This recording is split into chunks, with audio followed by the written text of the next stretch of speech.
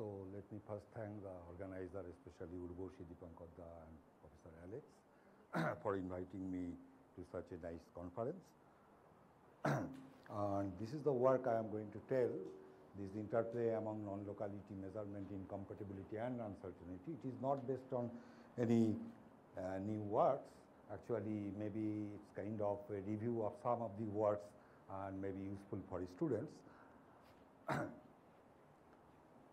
uh, this measurement incompatibility, sometimes after learning a little bit quantum mechanics, uh, my feeling was that uh, maybe uh, measurement incompatibility, sometimes expressed in terms of complementarity, uh, the formalism that was given by Paul Busch, Mittelstaedt, and Pekka. Sometimes I use complementarity and incompatibility in the same sense, and uncertainty. Sometimes I was thinking that this measurement incompatibility that is more fundamental because na here nature tells you that there are some measurements or there are some observables which cannot be verified jointly or simultaneously. Whereas uncertainty, I am talking about preparation uncertainty. Preparation uncertainty refers to the uh, theory actually, kind of theory and kind of state you have constructed. Like if you take quantum mechanics, then of course there are dispersion for states. But if you take a spin-up particle, then if you consider Bell model, then for those states there is no dispersion and in particular for Bohm theory, uh, in principle there is no dispersion for the observables because uh, using Bohm theory you can predict the measurement result of every observable if you are given the whole, whole uh, details of the measurement setup. so, so and it is indeed true that this measurement incompatibility uh, and so one of the very important in behind the birth of quantum mechanics, as I told you, that uh, it is measurement incompatibility, uh, which tells that nature does not allow certain observable to be jointly measured. It has nothing to do with the theory that I am going to emphasize. of course, this incompatibility by itself cannot forbid those observable to possess a definite value for the individual system. Sometimes we confuse this uncertainty or preparation uncertainty with uh, individual particle uh, does not have certain values for some observable. Sometimes we confuse. So here there is measurement incompatibility and also there is quantum non-locality where quantum non-locality tells that quantum theory if you want to replace quantum theory by some more realistic theory, but you cannot do it uh, if the theory is simultaneously real and local. Now these two concepts, measurement incompatibility and this non-locality, these two concepts have been shown not only deeply connected in quantum mechanics, but they are deeply connected in a more general theory, which is of course satisfies, uh, which respects uh, relativity principle. what are the relations? If you consider only bipartite system, the result is if a no, if a no signaling theory is non-local, then there must exist incompatible measurements. It is not only true for quantum mechanics, it is a more general statement. If, not, if you consider a no signaling theory and if that theory is non-local, then there must exist some observable which cannot be verified simultaneously. In quantum mechanics, the reverse is also true. For any two incompatible measurements, there is violation of Bell's inequality implying non-locality. This result was proved by uh, Michael Wolf and, uh, and his collaborators. and there is another result which tells the upper bound of no. So if you consider a no signaling theory and if you consider bipartite system, then the upper bound of the non-locality, in particular upper bound of the Bell CH expression in that particular theory is determined by the degree of incompatibility where this degree of in incompatibility I am going to define and there is another result by Oppenheim and his collaborators which tells that degree of non-locality of a no signaling theory is determined by the combined effect of steering and uncertainty. Though in the paper published in Science, there is no mention in the title, there is no mention of steering. It was mentioned, uh, this question of uncertainty was only mentioned, but actually the Bell-Siege violation of a particular theory is determined by the combined effect of steering and uncertainty. So we consider, so to get uh, the results, we start with a more general no signaling theory where there is a set of states and set of observables and there is a rule like this uh, analogous to Born rule in quantum mechanics. I mean if this is a state, this is observable, then what is the probability that if I perform the measurement of this observable, what is the probability that I get the ith result. So these are probabilities and they, so they must be normalized. and in particular for our discussion, we will consider only measurements with binary outcomes like spin observables. And so, so you consider a measurement of A which has two possible outcomes plus 1 and minus 1 these are the probabilities and if you want to find the average of A, then it is given by this expression. Now we consider joint measurement. Two observables, uh, sorry,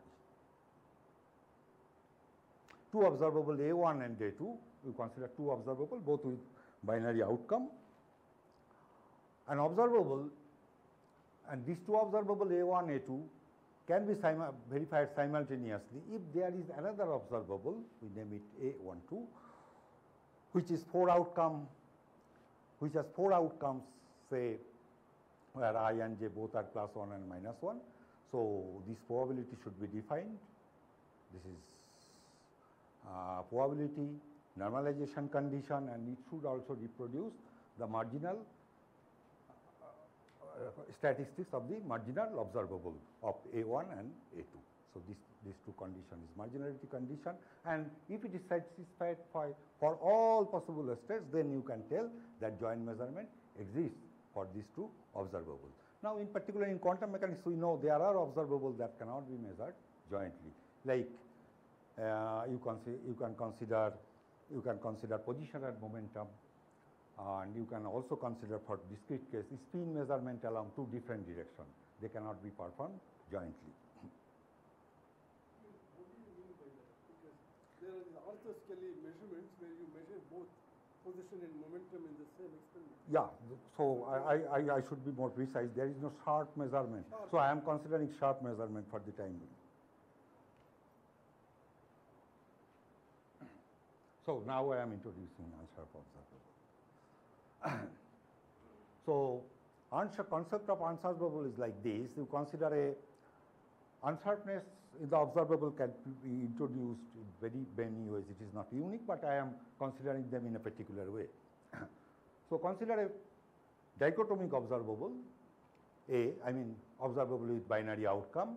Then we define another observable where this A lambda and it has also you can consider binary observable. So, it is also plus 1 and minus 1. Then this probability that if the state is omega and this observable is measured, what is the probability that the result is plus 1? Then this probability can be expressed as combination of these two probability which is for sharp observable. So, I am we are introducing a parameter lambda.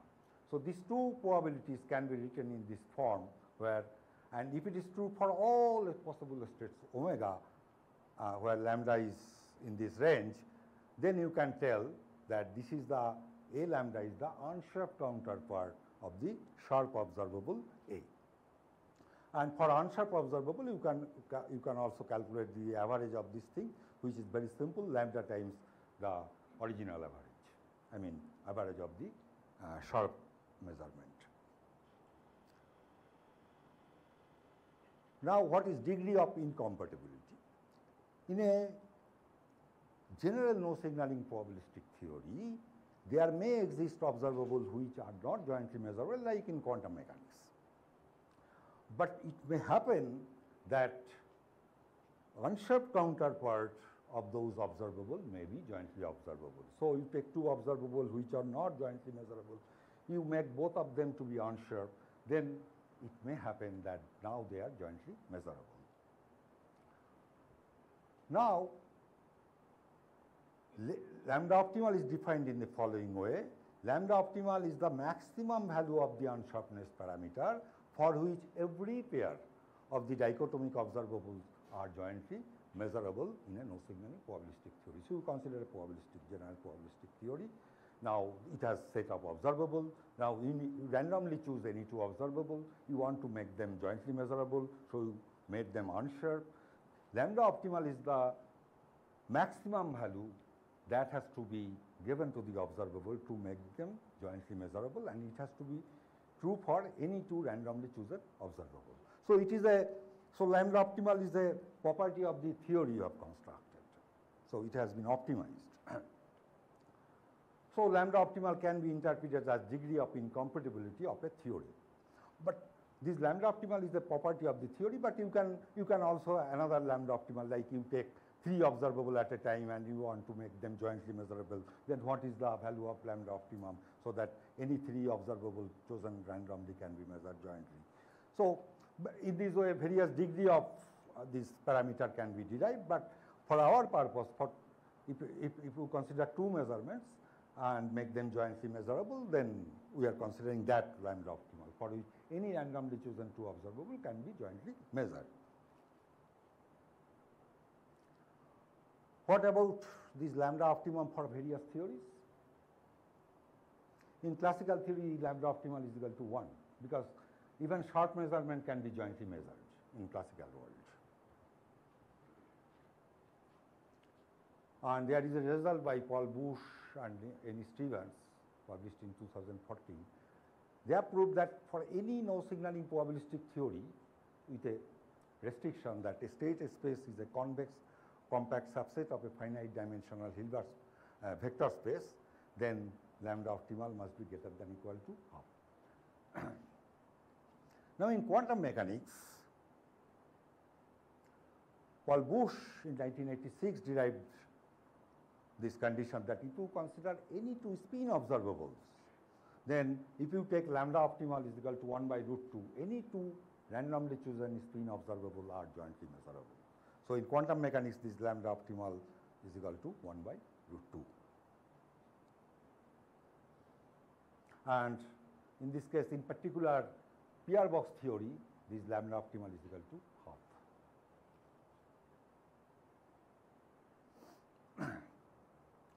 What about the higher dimension? I mean Paul Busch derived this thing for spin case, I mean for two dimensional Hilbert space.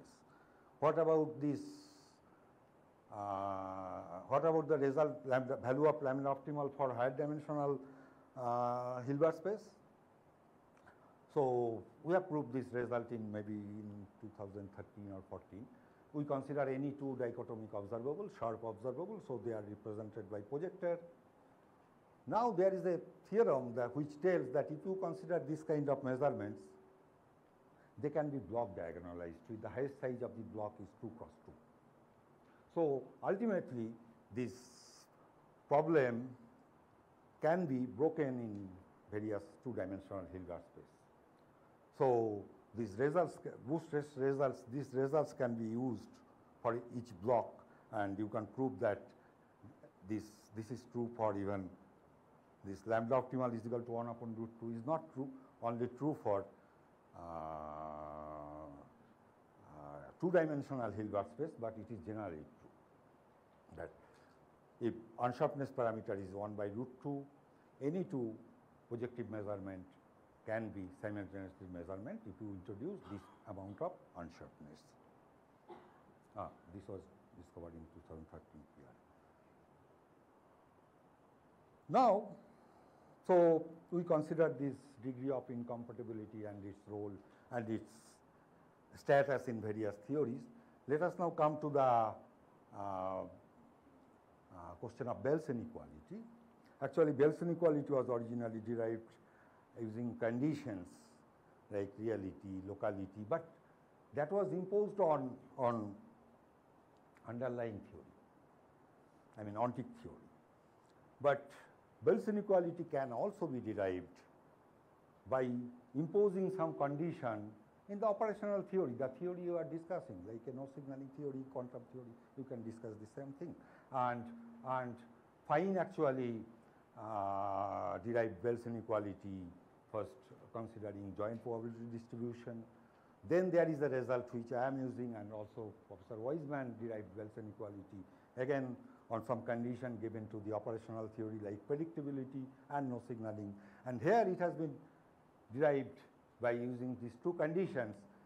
If you consider two particles and on particle 1 you consider two measurement A1 and A2 and you assume that they are jointly measurable and if the theory is no signaling then Bell's inequality is satisfied. And see all these assumptions are not on the underlying theory but the theory operational theory itself. Then it can be easily derived because in quantum mechanics you know Bell's inequality is violated then what it tells in quantum mechanics, Bell's inequality is violated. Then what it tells? Quantum mechanics cannot violate this thing. Then there are some observable which cannot be jointly measured. Now, if you introduce unsharpness, then you can make this A1, A2, if it is not originally jointly measurable, after introducing the unsharpness, you can make them jointly measurable, then it should satisfy Bell's inequality. And using that, you can derive this condition. So this is the Bell CH quantity and if you know the lambda optimal, I mean degree of incompatibility of a particular no signaling theory, then you have derived a result like this. CHSH quantity is bounded by this quantity which is 2 by lambda optimal. It is the property of the theory as I told you lambda optimal for all choice of dichotomy observable. So, this degree of incompatibility gives me a upper bound for the Bell-CH quantity. That's why I was trying to tell that, that, that incompatibility is very powerful because nature tells you that you cannot do something and in, or introducing that in your theory and it gives a very basic kind of bound on CH, uh, CHSH quantity.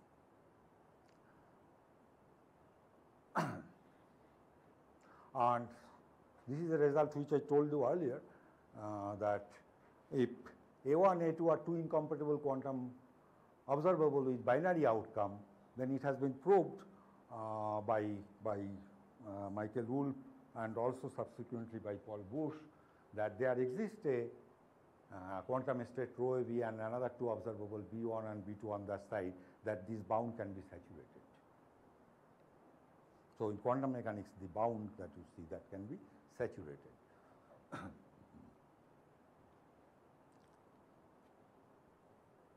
So, as I told you in, in quantum mechanics this lambda optimal is equal to 1 upon root 2. So, the bound is 2 root 2 and in quantum mechanics there are state as well as observable on both sides. Uh, you can choose them in such a way that this bound is saturated. This is my point. Now, as I was telling you that uncertainty also determines non-locality by, E, but uh, sorry,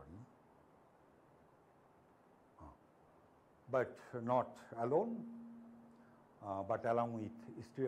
Uh, steering. So, I am uh, how much time do I have? 10 minutes. so, actually this is described by a game. This game is something like this that this is Alice, this is Bob and uh, Alice is given a question from, uh, there are two questions, one of the question will be given to Alice randomly, similarly to there are two questions which uh, one of them should be given to Bob randomly and they have to answer where Alice's answer is A, Bob's answer is B, then and they are far away, they cannot communicate, then this uh, Bell game is something like this that uh, given input they have to give the output and they have to satisfy this condition in each case and, uh, and it can be shown that, that by any local theory uh, this cannot be satisfied by Alice and Bob if they are not allowed to communicate. and so what are the necessary condition for to win this game with 100 percent probability? There must be steering, I mean there must be good steering, though I, I don't have a measure to tell what is good steering and, and uncertainty, there should, there should be no uncertainty of Bob measurement results. I mean, these are the conditional state depending on Alice's input and output and these conditional states on both sides should have no uncertainty. Otherwise, they would not be able to satisfy these conditions. So, for 100 percent winning, there must be steering and there must be certainty for the states. What about quantum mechanics? Quantum mechanics has this steering, powerful steering. But in quantum mechanics, there is no state rho for which two randomly chosen observable will have deterministic answers. And Oppenheim suggested a finite uncertainty.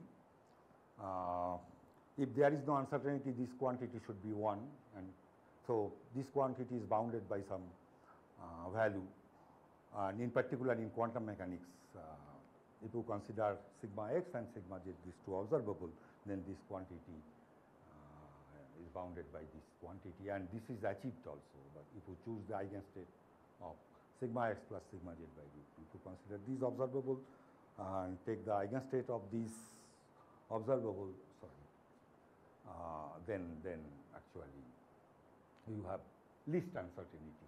And with this least uncertainty, you can win this game not with probability 1 because there is uncertainty, but with this probability. And this is, this is, in classical world you can win this game with 75 percent probability, in quantum mechanics uh, 85 percent, around 85 percent. And uh, to win this game with this probability is equivalent, this Bell CH, uh, quantity is equal to 2 root 2. So, and, and, and, and as I told you that for 100 percent winning there is a no signaling correlation which is famously known as Popescu-Rohrlich correlation where which satisfy both these conditions that is called PR box. So, in PR correlations this lambda optimal is equal to half. So, bound is 4 but this bound is achieved by optimizing over uncertainty and this theory. So, actually in this theory there is no uncertainty. Classical theory there is no uncertainty, but still Bell uh, degree of incompatibility is bounded by 2 because lambda optimal is equal to 1. But there is no uncertainty in classical theory, but there is no steering also. So, Bell quantity does not go beyond 2. In quantum mechanics, degree of incompatibility tells that Bell quantity should not go beyond 2 root 2. But it can be achieved also by its uncertainty and the steering. Uncertainty is such that it just reach that bound given by degree of incompatibility.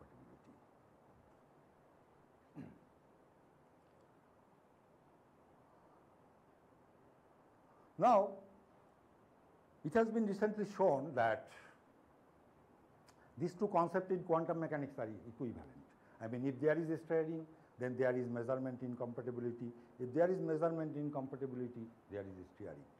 But in any no signaling theory, steering, if there is steering, then there must be measurement incompatibility. Because if there is no measurement incompatibility, then if, if you consider two measurements, then you can think of each as a single measurement with four outcomes if it is for, for binary case. So, if in any no signaling theory, if there is steering, there must be measurement incompatibility. But whether the converse holds, it's very difficult to tell most possibly without learning more structure about the theory. I am not sure, but in quantum mechanics these two concepts are same, I mean equivalent. Now we are coming to Spekkens toy theory. I am not going to describe a Spekkens toy theory, but, but there is entanglement, there is steering, there is even dense coding, there is teleportation. And as there is steering in Spekkens toy theory, then there must be incompatible measurement. And if there is incompatible measurements, then this lambda optimal cannot be equal to 1. So, the value we may not be able, I, I, we may not be able to calculate, but it is sure this value must be less than equal to 1 because there must be incompatibility as there exists steering. Now, due to now, if you consider Spekkens' toy theory, then this Bell quantity is bounded by this quantity, where this quantity must be less than equal to 1. So, this Bell quantity in toy theory is bounded by a quantity which is greater than 2. Bound is greater than 2. But by construction, Spekkens' toy theory is uh, local. It, does not, its Bell quantity does not go beyond uh, 2. So, actually this fine grained uncertainty tells that uncertainty is so high in Spekkens' toy theory that even though there is nice steering, this uncertain amount of uncertainty is so high that it destroys the capacity of having Bell quantity greater than 2. This high amount of uncertainty makes the toy theory to satisfy Bell's inequality. so in toy theory, measurement incompatibility and uncertainty do not match. I mean the bound uncertainty does not allow to reach the bound given by the degree of incompatibility of the theory. Are there, so this is hypothetical theory I am discussing about. So there are another hypothetical theory, it is called state space as a polygon structure and in particular if the n is equal to 5 then it is shown that uh, this quantity is bounded at lambda optimal you can calculate and this, if you calculate this uh, Bell quantity, Bell quantity is 2 by lambda optimal for that particular theory and it is bounded by this quantity. Again in this theory, this optimal value, I mean uncertainty and steering cannot, do not allow, does not, do not allow this Bell quantity to reach this bound. This highest amount of Bell violation is strictly less than uh, the quantity uh, which is given by 2 by lambda optimal. And possibly this gap in uh, toy theory, this we could explain the non-violation of Bell's inequality in terms of fine and uncertainty relation. Maybe in this particular case, maybe this steering is also very non-trivial, uncertainty is also very non-trivial. So their joint effect will tell that why you cannot reach the bound given by the degree of incompatibility. So conclusion, so Clifton Bub Halvorson, long back, maybe 2002, made an attempt to derive quantum mechanics for three, using three information theoretic principles. First is no signaling, second is impossibility of broadcasting like no cloning theorem and impossibility of bit commitment. Of course, they constructed this theory on a given particular structure of observable having C* algebra, but still they are emphasizing that uh, these three principles would give uh, uniquely quantum mechanics. But toy theory actually satisfy all these three conditions without being quantum mechanics. Uh, it is a hypothetical theory and it has, it has, it is so different from quantum mechanics. It has finitely many states, finitely many observables. so I was thinking that in future if we uh, using some principle if we want to derive quantum mechanics maybe maybe we can put these two conditions that Measurement incompatibility is non-trivial. I mean, lambda optimal uh, is in this range without being equal to half and 1. It is, if it is not equal to half, then PR box theory is rejected. And if it is not equal to 1, also classical, you don't take classical theory. So it is non-trivial. And this condition that Bell quantity in that particular theory uh, saturates the bound given by the incompatibility of the uh, theory degree of incompatibility of the theory. But I am not sure, my students uh, was uh, trying to tell that uh, this may be, uh, this bound may be saturated also for polygon theory if the size of the polygon is even. So this may not work. I was thinking that whether, whether quantum mechanics along with some other principles, these two along with some other principle could be derived, but uh, if you consider these two, it will consider some of the hypothetical theories which is not quantum. Thank you for listening patient.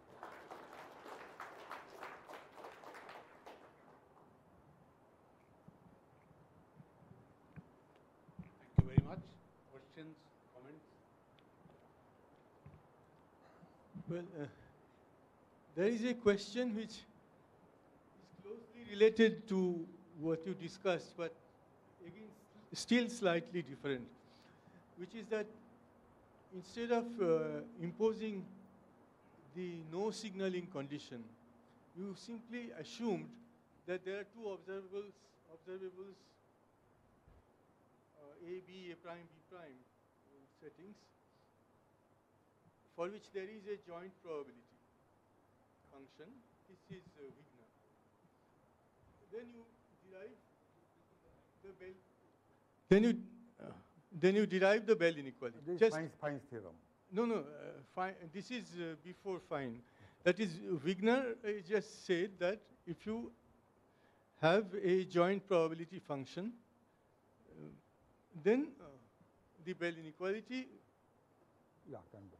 Holds. Uh, and uh, I'm sorry, the Bell inequality is uh, violated.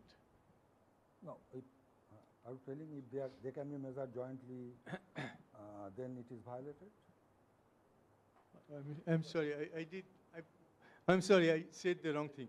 The Bell inequality is a consequence of existence of a joint probability function.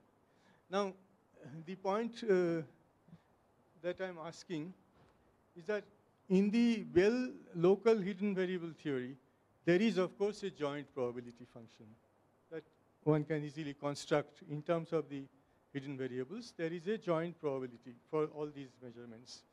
Uh, you are talking about Bell model? About in the hidden variable theory, there is a joint probability function. However, and of course, there is the Bell inequality. But without going into hidden variables, simply the existence of the joint probability also gives you the uh, same inequality. Yeah. Now, the uh, question, when I was talking about this, I am, I hope I am uh, reproducing it accurately. George Sudarshan was in the audience, and he asked me, is it true also the other way around? That is, if there is a joint probability function, does it follow that local hidden variable theory can be constructed? Do you have any answer? No, for, for, for two observable on both sides and having binary outcome, this is necessary sufficient. He's asking a larger question. But in general, it is not true because Garg-Mermin produced a uh, probability distribution uh, which does not have a three, most probably four or three probability distribution. I mean, Fine had uh, No, this there is- kind of There is uh, a, thinking, but this there is is a different, different question. Uh, actually, uh, Virendra and I and also uh, Garg and Mermin uh, showed that Bell inequality, this usual Bell CHSH inequality is not sufficient to guarantee the existence of a local hidden variable theory. But I am not talking about that. It's a slightly different thing.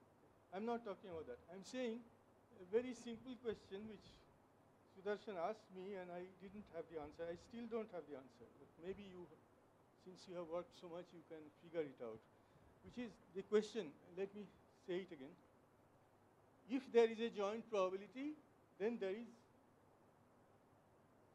Bell inequality. Can you also say then that, that there is a local hidden variable theory? See, the reverse is already known. If there is a hidden I variable theory, Fi- there is Fine's, a joint in probability. Fine's paper itself, and it is for two observable on both sides and with binary outcome, uh, it, it is true. Fine's, can, argument is wrong. Maybe for higher number of observable or higher, di- higher dimension, That's what we showed. higher dimension or higher number of observable. I am, but I am telling that two observable on both sides are with binary outcome, they are equivalent, My I think. conjecture to Shashank's question is that the answer is no. That it would require the satisfaction, the existence of higher order distributions of uh, six, or maybe, you know, three observables for one. Yeah, if you consider more observable, the answer is not If so all simple. higher order distributions exist, then, even then I don't know whether one can prove that there is a. Shivashish may have some comment. regarding this. Do you? uh, Then there, that there is a hidden variable. theory. But anyway, for my purpose, actually, I was using this thing that if one side they are jointly measurable and if you impose the no signaling condition, then Bell, Bell's inequality can be derived. Could I make one more comment? So I think the answer to the, the other way to look at Shashank's question is the following, that if you only look at this, uh, the original CHSH inequality, which pertains to two measurements on each side, uh, there you could imagine that there are inequalities for more than two measurements on each side, which go beyond CHSH. And uh, then if the, if the CHSH inequalities are satisfied, but these larger inequalities are not, then that would be a direct demonstration that there is the, the existence of uh, just this uh, four measurement distribution is not enough to guarantee. This, this I this Right. I agree. Yeah. The question is the reverse. Suppose there exists a joint problem. Or that local hidden variable theory can be constructed. But still, I think that if you consider only two observables on both sides with binary outcome, it works. So, any other question? Any other questions, comments? Okay, if not, let us thank Guruprasad and let us thank all the speakers of this session.